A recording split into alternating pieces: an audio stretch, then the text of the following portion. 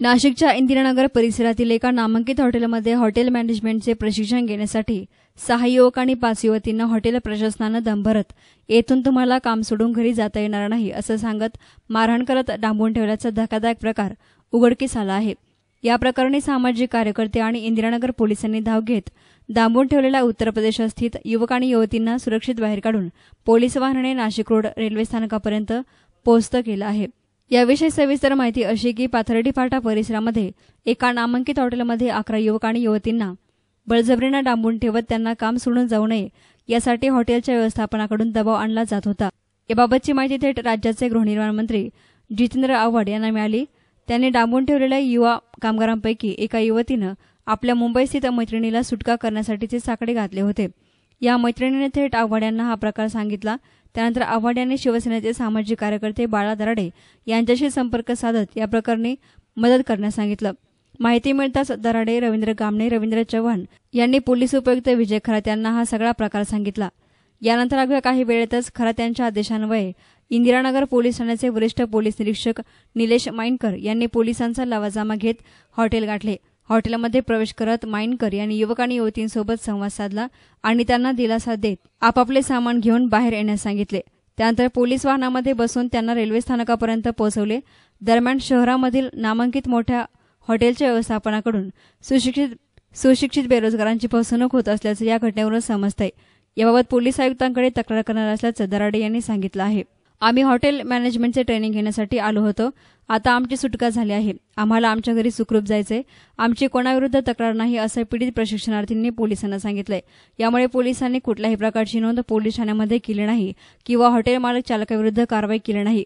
पीडित अकरा युवक आणि युवतींपैकी कोणीही तक्रार न केल्यामुळे गुन्हा दाखल करण्यात आला नाही असं माइनकर यांनी स्पष्ट केले माय नेम इज़ मानवी कौर सारे मेरे फ्रेंड्स हैं. हम लोग यहाँ पे hotel Jupiter muse Jupiter hotel में ट्रेनिंग के लिए आए थे ट्रेनर्स कॉलेज की तरफ़ से। और उसके बाद बताओ। हम लोगों के एग्ज़ाम थे। हम लोगों ने सर से बोला। एग्ज़ाम के लिए बट सर ने जाने हमने दो तीन बार इन्फॉर्मेशन दी तो उन्होंने कोई एक्शन नहीं लिया। उसके बाद हम लोगों ने कदम उठाया कि हम लोग जाना चाहते हैं तो उसके बाद हम लोगों को मारा गया। जी वीपी सर ने। जी मैं भी रात भागी थी इन सबके साथ। और बट मैं इन लोगों को नहीं मिली। बाकी सब जो भी मिले उनको मारा गया। और जब भाग रहे थे तो सब लोगों को रोक के पूछ बोले कि तुम लोग कौन होते हो भागने के लिए? और यहाँ पे रोक के रखा। बोले कि अभी जाओ नहीं तो तुम लोग रूम पर जाओ नहीं तो यहाँ पे अभी तुम लोगों को भी मारा जाएगा यहाँ पर।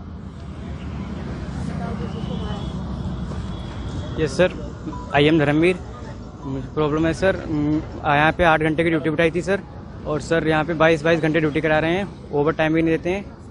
सैलरी भी नहीं देते हैं वन मंथ की रोक लेते हैं।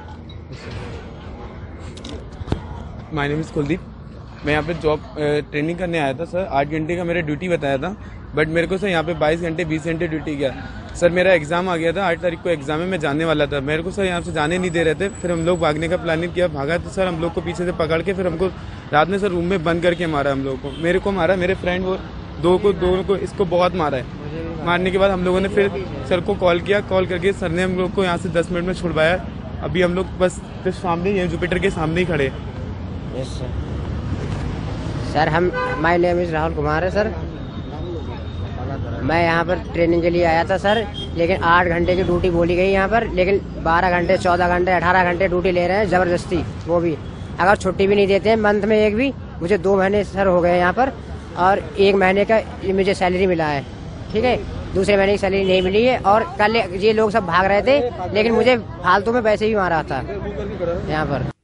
News reporter Manish Sarvatkar S nine media Nashik.